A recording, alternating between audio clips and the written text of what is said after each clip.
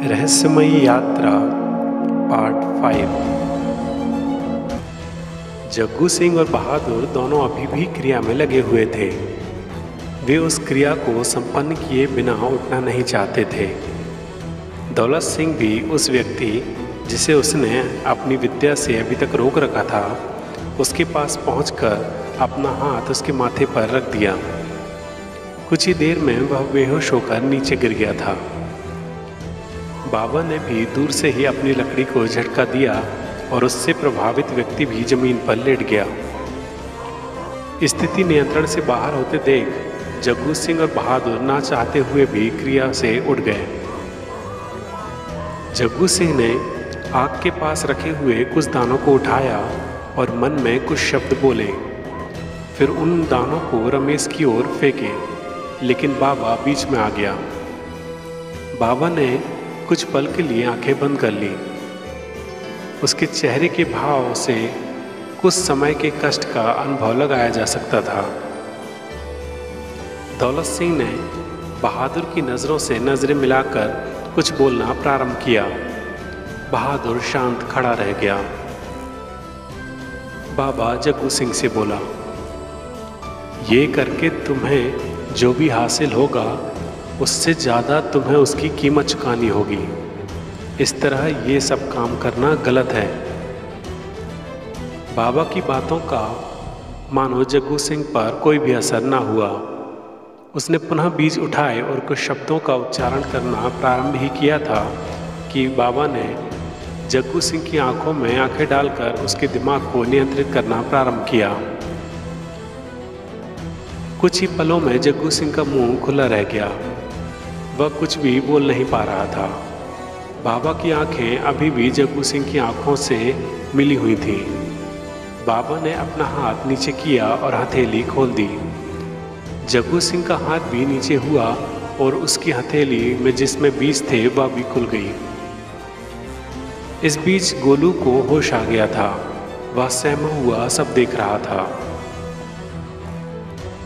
इस तरह से अपने और अपने साथियों को हारता देख जग्गू सिंह ने लड़, लड़ने का प्रयास छोड़ दिया। बाबा और दौलत सिंह भी समझ चुके थे कि उन्हें सबक मिल चुका है। बाबा और दौलत सिंह दोनों ने अपने प्रभाव से दोनों को मुक्त कर दिया। लेकिन होनी शायद उन दोनों को उनके किए दंड का दंड देना चाहती थी। हड़बड़ी में भागते समय दोनों उस तेज जलती हुई आग पर गिर पड़े जिससे मुख्य व्यक्ति का आधा चेहरा और सहायक बहादुर का एक हाथ पूरी तरह से जल गया। आधा चेहरा इतना जल गया था कि उस ओर की आँख कान, नाक सभी पूरी तरह से जलकर बराबर हो गए थे। उसी समय देखकर कहा जा सकता था कि वह हिस्सा जीवन भर के लिए बर्बाद हो चुका है। ये उसके लिए ईश्वर के द्वारा दी गई सजा थी। इसके बाद भी वे दोनों और उनके साथी भाग खड़े हुए। कुछ ही देर में गाँव के 12 से 15 लोग आ गए। वे उन भागते हुए व्यक्तियों को पहचान गए थे, जो कि बस्ती के बाहर रुके थे। रमेश ने बच्चे को चारपाई से खोल दिया। गोलू भागता हुआ अपने पिता पंडित जी से लिपट गया। पंडित जी, गोलू बेटा तो ठीक तो है ना? गोलू हाँ पिताजी, माँ कहती है ना? कि जब भगवान को किसी की रक्षा करनी होती है तो वो किसी न किसी को भेज देता है। भगवान ने हमें बचाने के लिए इन लोगों को भेजा है। गोलू की भोली भाली बातों से पंडित जी की आँखों से आँसू निकल आए। हाँ बेटा, इन्हें भगवान ने ही भेजा है, नहीं तो इस घने जंगल और सुनसान इलाके में आधी रात को कोई तुझे क्यों बचाने आता? रमेश बाबा दौलत सिंह सभी उनकी बातें सुन रहे थे। अचानक अजनबी का ध्यान आते ही तीनों अजनबी की ओर गए। दौलत सिंह ने अजनबी के माथे पर हाथ रखा। फिर बाबा को कुछ इशारा किया तो बाबा ने भी अजनबी के सिर पर हाथ रख दिया। कुछ ही देर में अजनबी को होश आ गया। वह उठकर खड़ा हो गया। पंडित जी और गाँव वालों ने चारों का हाथ जोड़कर धन्यवाद किया। और गोलू को साथ लेकर गाँव की ओर चले गए। गाड़ी के हॉर्न की आवाज़ सुनाई देते ही रमेश ने दौलत सिंह, अजनबी और बाबा की ओर देखा और तेज़ी से गाड़ी की ओर चल पड़े। चारों के गाड़ी के पास पहुँचते ही सामने खड़े आदेश ने कहा, जल्दी आइए। आप लोग कहाँ चले गए थे? गाड़ी का इंजन टेक्नीशियन ने ठीक कर लिया है। गाड़ी चलने ही वाली थी तो मैंने चैन खींच दी आप लोगों के लिए। रमेश आदेश की ओर देखते हुए बोला, धन्यवाद आदेश भाई। वैसे हमारे आने तक यह गाड़ी कहीं जाने वाली नहीं थी। यदि चैन खींचने के लिए तुम नहीं होते तब भी।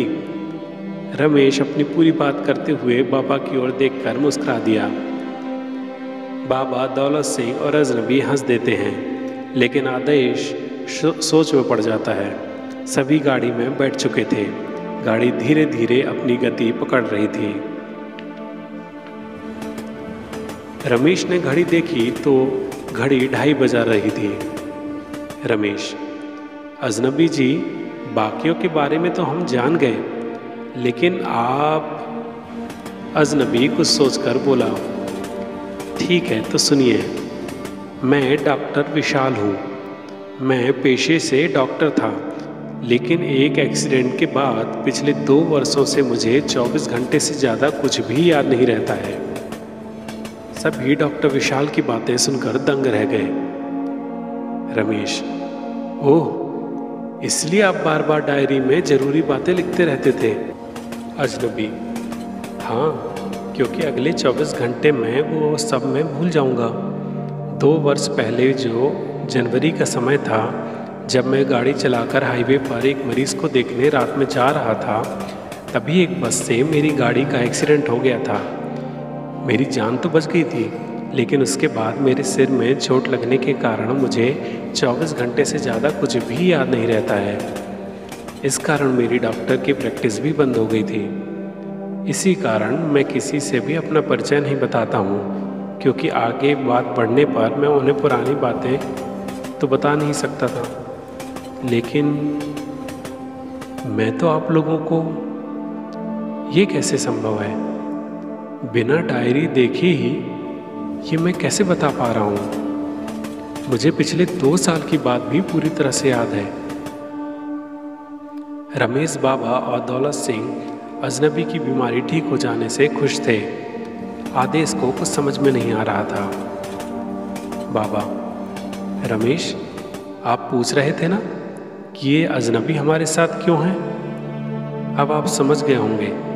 कि इनको भी इस रहस्यमय यात्रा में ठीक होना था। इस कारण ये हमारे साथ वहाँ थे। डॉक्टर विशाल। हाँ मुझे अब सब कुछ समझ में आ रहा है। ये भगवान की ही एक योजना थी और इस योजना में मुझे ठीक करना भी एक कार्य था। बोलते हुए डॉक्टर विशाल की आँखें आंसुओं से डबडबा गईं।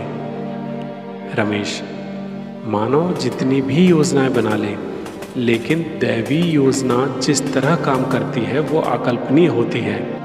डॉक्टर विशाल, मैंने इन सभी बातों को कभी भी नहीं माना, लेकिन आज इस यात्रा में अनुभव किया कि इन बातों पर तभी यकीन हो सकता है जब ये आप पर या आपके सामने घटित होती हैं। रमेश, बाबा आप ये बताइए कि इनकी याददाश्त की समस्या ठीक होने का कारण इनका सिर्फ़ पत्थर से टकराना था या जो आपने और दौलत सिंह जी ने इनके सिर पर हाथ रखकर जो भी क्रिया की थी, उसका परिणाम था?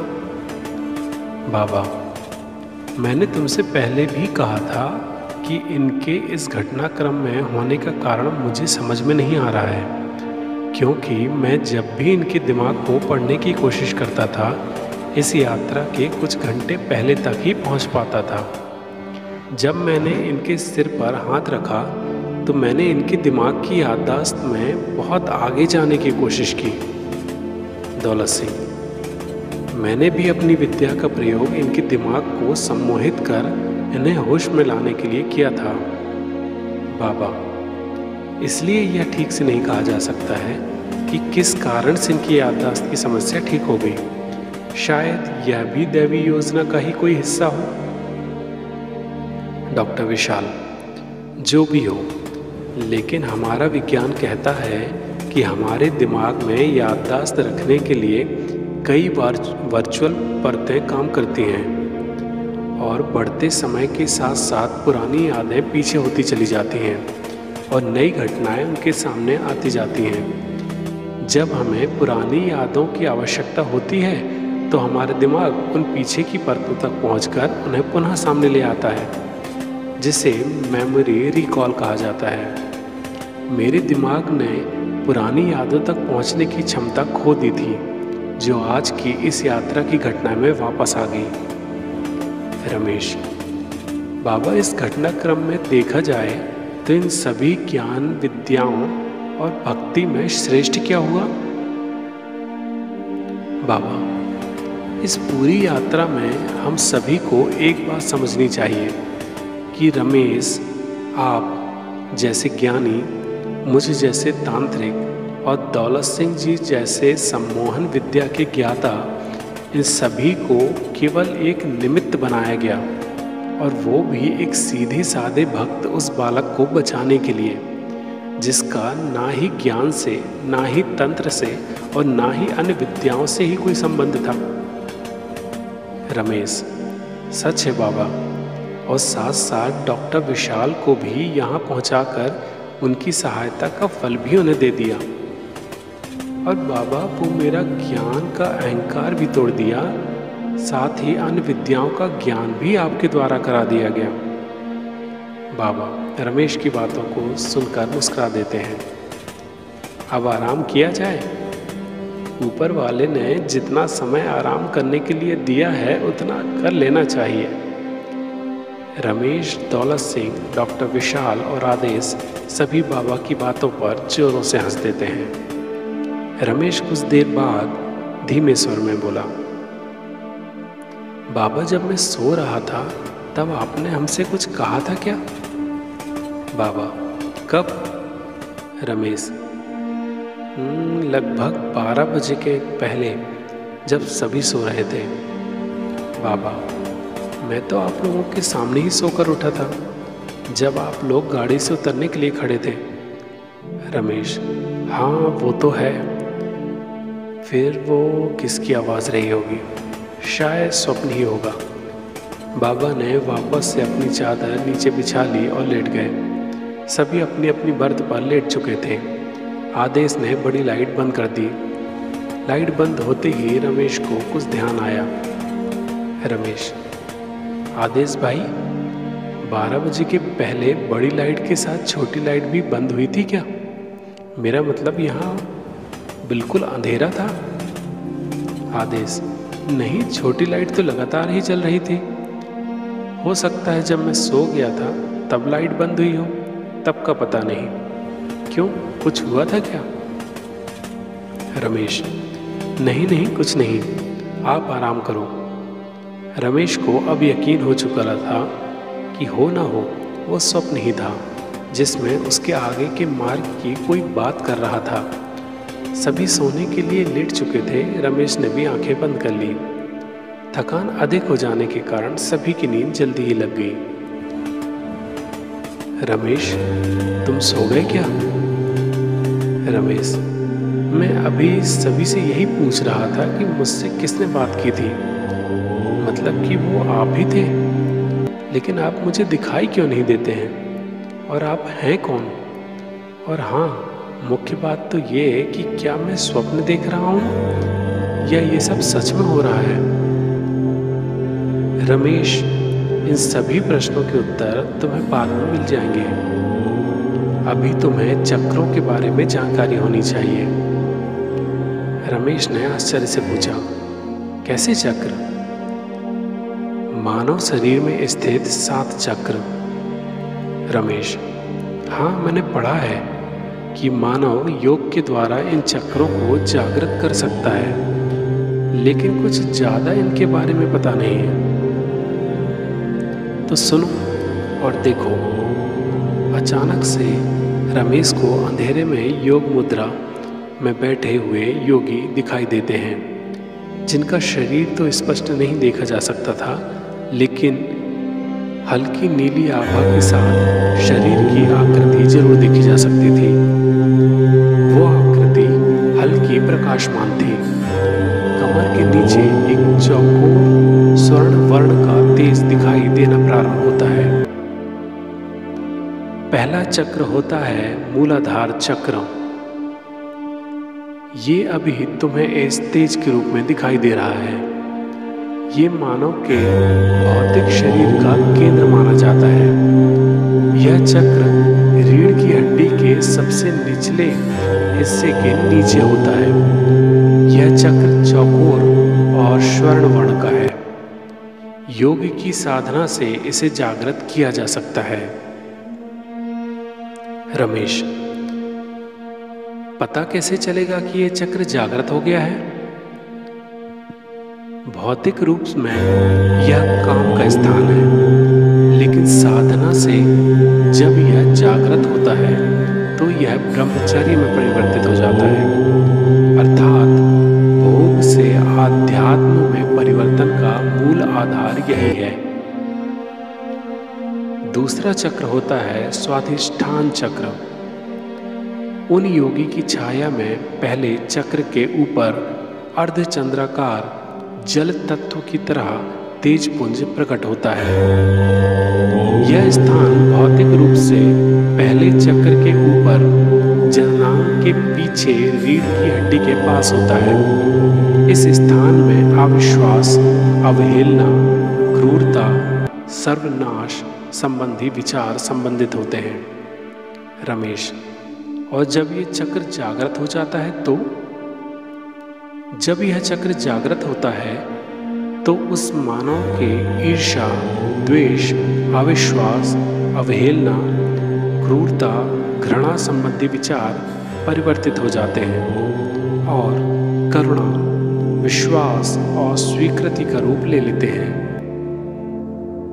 रमेश, इसका मतलब जिस व्यक्ति का स्वादिष्ठान चक्र जागृत हो जाता है वह करुणा, विश्वास और स्वीकृति से भरपूर होता है।